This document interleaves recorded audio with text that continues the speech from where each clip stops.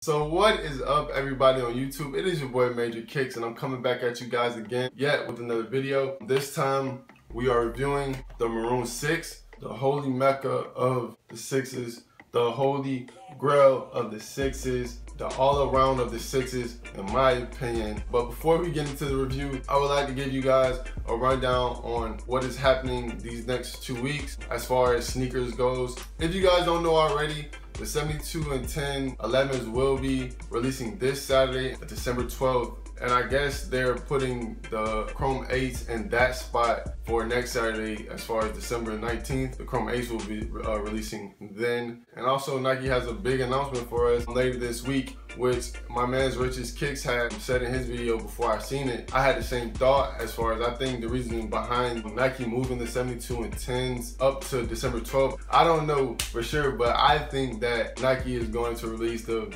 PE Melo 11s in a pack on December 19th. But who knows? Nike is Nike. They can do what the hell they want to do, I guess you could say. But anyways, that is the sneaker news for these weeks coming up. I guess I gave you guys a little brief of this weekend's heat. If you don't know what this weekend's heat, make sure you go check out my other videos. I have a little segment or a little episodes that I do where I talk about these upcoming sneaker releases. But I didn't do one this week because I don't know. I just felt like it wasn't enough shoes to talk about. I didn't want to talk about one or two. So, but anyways, let's get into this review. Okay, my thoughts on the Maroon 6s. Of course, it's a dope shoe. It is a fucking, I'm sorry, leave that out.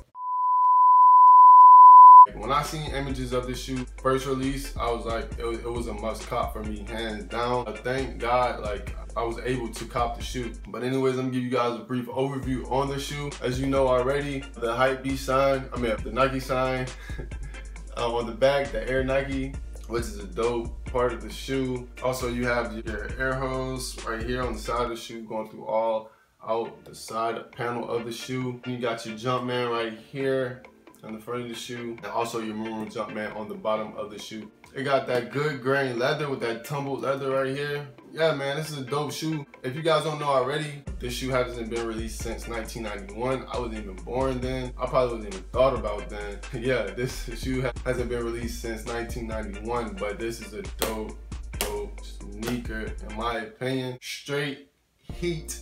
That is that for this review. You guys know I don't give detailed reviews. I just give you the overview. Like I said before in my other videos, I know there's a thousand other videos out there that give you guys that in-depth detailed review. If you guys are new to the channel, make sure you hit that subscribe button. And if you guys are not new to the channel, smash that like button. And also guys, if you're not following me on any social media, make sure you guys do so. All the links will be in the description as far as Twitter, Instagram, Snapchat. And I do have a Snuffs, but I haven't got it together yet.